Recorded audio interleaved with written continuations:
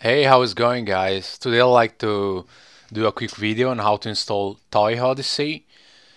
I already installed the game, so if you have no idea how to use Wine, how to install Steam and how to install a single game, I'll leave a link in the description where you can find some tutorial videos and so on.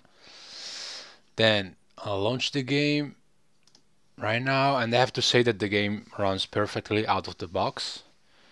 It probably will launch with a strange resolution so at first you just need to change the resolution here in the menu.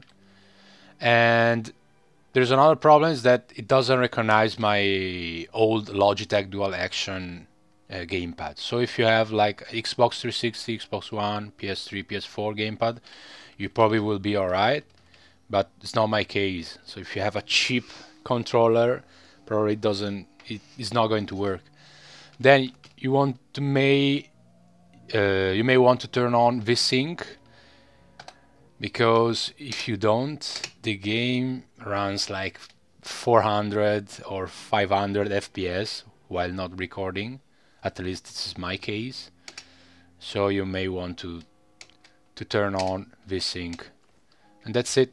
The game runs perfectly out of the box. It installs no dependencies no DirectX nothing. It just runs perfectly Let's see if I can turn on VSync. Yeah, as, as you can see right now I am super stable 60 FPS. No problems whatsoever. Alright, that's it. Hope it was helpful and I'll see you next video. Bye bye.